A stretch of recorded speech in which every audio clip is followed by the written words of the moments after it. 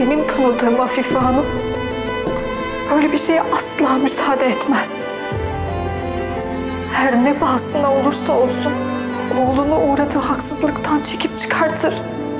Ama gerçeği söylemem gerekirse benim bu mahalleyi sevmemin asıl sebebi Kenan. İyi misin? Bir şey mi oldu? Sen kim oluyorsun? Capcana iubirii. Nedir? Afife Hanım ifade vermiş.